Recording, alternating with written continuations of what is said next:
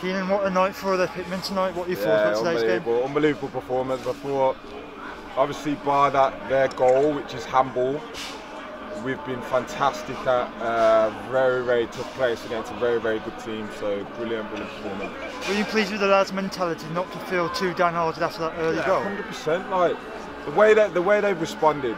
Listen, hats off to them, and to do that on a Monday night and the performance and the standard is, superb. Like like we said out here, we've made some changes tonight. Um, but listen, everyone we're a team, uh, and you know you didn't even notice the difference tonight. So you're superb. There was no argument about this time taking the first penalty, was Yeah. there, unlike Saturday? Yeah, yeah, yeah. So was Courtney always destined to be? Yeah, yeah, yeah. So Courtney, obviously, he was on pens. Um, great pen, and then obviously Landau, what a finish for the for the second one as well. It Was important to stop Stourbridge using their strength, particularly the height at the back Yeah, the two yeah, centre backs? Yeah, listen, they're, they're Stourbridge are a good team, mate, and if they get momentum and sticking on you and winning them first and seconds, they're a hell of a team. So felt like we dealt with that very well. Um, and you know, some of our passages of play first half was tremendous. Is it important to keep the crowd quiet, particularly here, because it can Yeah, get very boisterous? yeah, if, you, if you let them get ahead and on top, you know, it's a very, very hard place to come.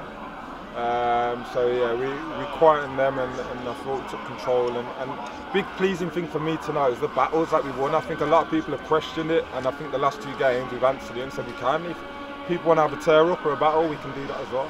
What was the decision in making f- much further forward in the pitch? Yeah, just to get a few crosses into uh, into Brownie um, and Car- and Kate on the other side as well. And I felt like you know the lads had a lot of service today. Uh, some great crosses in, and we, we looked a threat all game. Obviously, Saturday we got Alvechurch away, another tough away Yeah, game. What are your thoughts about that game? Yeah, it's another tough game. Listen, we just said to the boys in there, we enjoyed that. Uh, hell of a performance. Comes to Thursday, clean slate again, um, slate again, sorry. um, and we start again, and we, and we go and play against a very, very good Alvechurch team as well. So yeah. Do you think we're also send a mission statement to the league by beating one of the favourites? Yeah, I think I think so, but also as well we'll be very humble because listen, it's a long season.